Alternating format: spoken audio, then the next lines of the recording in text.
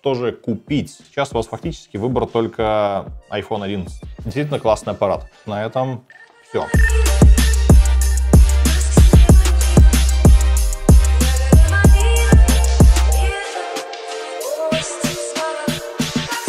Привет, друзья! Вы на канале QQ.ru, с вами Андрей. Мы сегодня с вами говорим про новую рубрику телефонов «Что же купить?». Непонятно в рынке смартфонов, когда все сложнее купить телефон с IPS-дисплеем. Таких телефонов становится все меньше, и именно про это мы сегодня поговорим. Лучшие смартфоны, которые можно купить в середине 2022 года с IPS-дисплеем.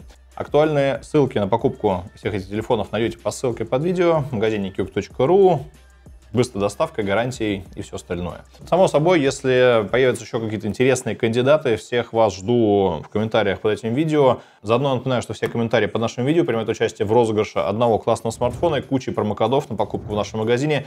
Участие предельно простые. Комментарий под этим видео засчитывается только один. Подписаться на канал и быть подписанным. Открыть подписки в настройках обязательно третье условие.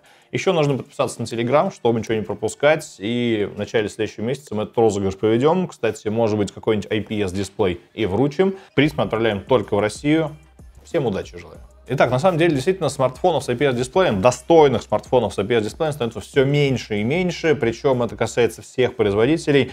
Фактически сейчас можно сказать, что вот если вы хотите действительно хороший, мощный смартфон с хорошей камерой, с IPS-дисплеем, то у вас сейчас из вариантов, вообще из актуальных, сейчас у вас фактически выбор только iPhone 11. Телефон тоже уже не свежий, неплохой очень крепкий телефон, и по характеристикам даже в 2022 году получите, получите вполне неплохую камеру, очень неплохую видеокамеру, а, с производительностью тоже телефон все неплохо. Конечно, это Apple, поэтому есть ряд ограничений. Это одна сим-карта, это ограничения по приложениям. Сейчас конкретно в России не работает оплата с помощью Apple вообще никак.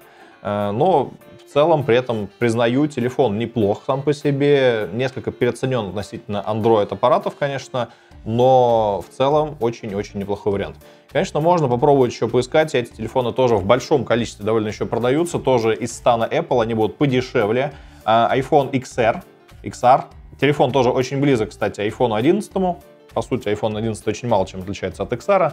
Можно потом сэкономить денежек, но тоже приятный телефончик с э, точки зрения производительности, камеры и, конечно, качественного IPS-дисплея. И, конечно же, если разбираться с Apple, то здесь еще стоит вспомнить iPhone SE 2 второго поколения, iPhone SE 2020, еще как говорят.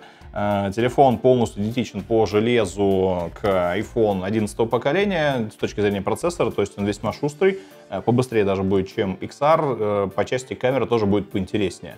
Но, пожалуй, что вот из таких действительно столпов да, то есть с точки зрения и производительности и камеры, и IPS, к сожалению, из актуальных телефонов на этом все. Далее пойду все-таки по своему какому-то принципу, начиная с более дешевых телефонов, с более распространенных и до более дорогих. В первую очередь хочу выделить такой телефон, как Realme 8i и его наследник Realme 9i.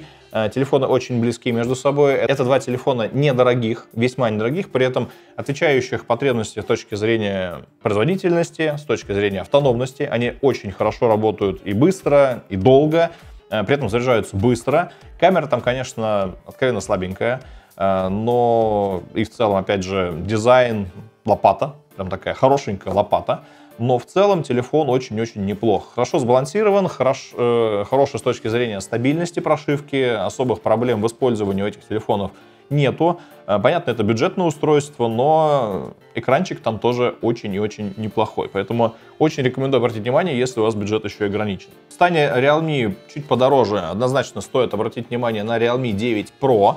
Это новинка, также на IPS-дисплее, причем уже тоже весьма массивная, с точки зрения производительности тоже подросла, э, стала и помощнее, и камера будет все-таки в Realme 9 Pro получше. Здесь, кстати, у меня есть сомнение, что Realme 9 Pro в каком-то смысле по части фотовозможностей могут приближаться как раз-таки какому-нибудь iPhone XR. Если говорить именно про такого середняка, хорошей производительностью, с хорошей автономностью и с IPS-дисплеем, то э, Realme 9 Pro пожалуй, что такой первый основной кандидат. Хотя вот именно в сегменте середнячков э, есть пока еще из кого выбрать. В первую очередь хочу упомянуть новичка, это Samsung Galaxy A23.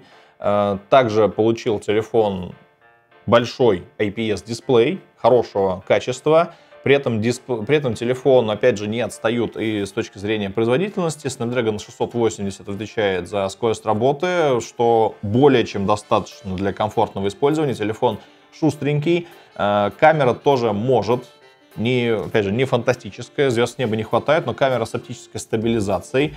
Причем камера э, действительно может как фото, так и видео возможности. Опять же, там звезд с неба сам по себе телефон не хватает, но это Samsung, это весьма производительный Samsung с хорошей автономностью, с хорошим IPS-дисплеем, э, и при этом цена весьма и весьма такая гуманная, честно говоря, вот именно за сам по себе такой телефон. Также рекомендую обратить внимание и на этот телефон. Э, на этом же процессоре, и очень похоже на самом деле по характеристикам, стоит выделить Honor X8. Этот телефон мы недавно обозревали, и смартфон меня действительно впечатлил как раз-таки качеством дисплея.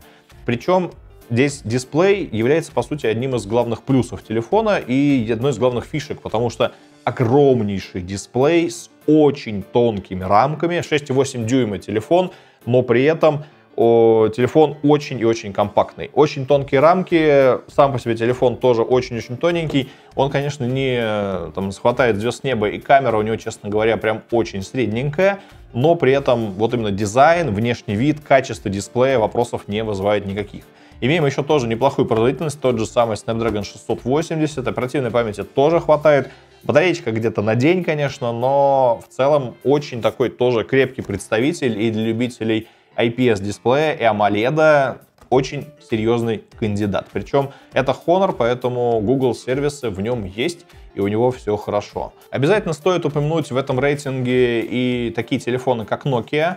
Э, в первую очередь Nokia XR20. Это еще добавок ко всему и защищенный телефон. Стоит он тоже не дешево, но на самом деле тоже, на удивление, получился весьма сбалансированным аппаратом. У него, конечно, основной фокус в том, что это защищенный телефон, который крайне-крайне сложно утопить, разбить. При этом он умеет еще и быстро, весьма быстро работать, еще имеет и чистый Android, э, еще умеет что-то снимать.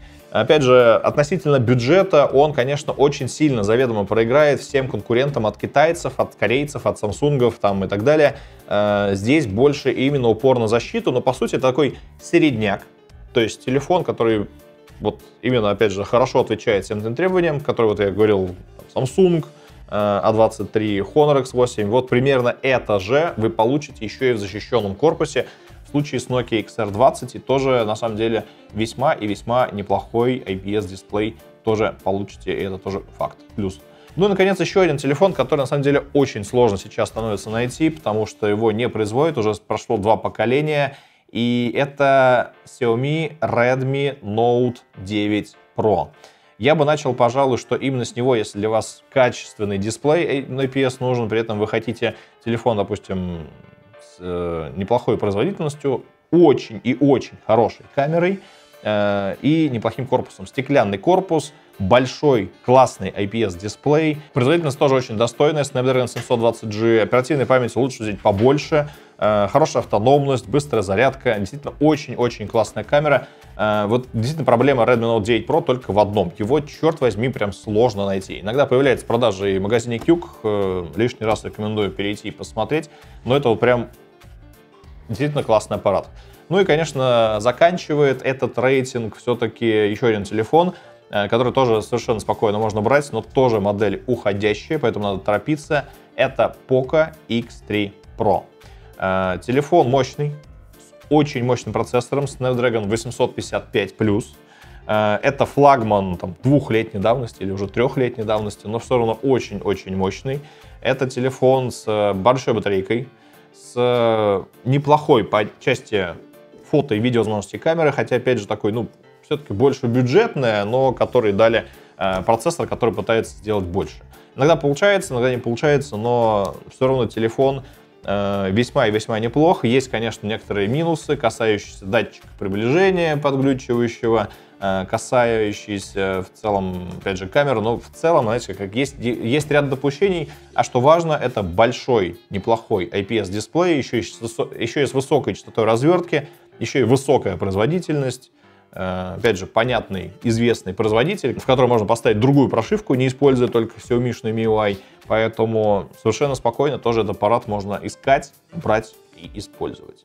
Ну и что? Вот, в принципе, то и все. Аппаратов на самом деле не так много. Я выделил основные. Если вам вдруг очень потребуется купить смартфон с IPS-дисплеем, а мне периодически поступают такие вопросы, в личку пишут люди, для какой-то цели. Там кто-то э, ребенка купить, потому что переживает за зрение. У кого-то зрение устает. Ну, вот один из немногих людей, которых я действительно знаю лично, и которые не переносят AMOLED никакие. Вот страдает человек. Э, вот, пожалуй, что выбор на самом деле не сильно большой, но хорошо, что он есть. Хорошо, что он есть, так что ссылки на покупку всех этих телефонов найдете по ссылке под видео в магазине kik.ru.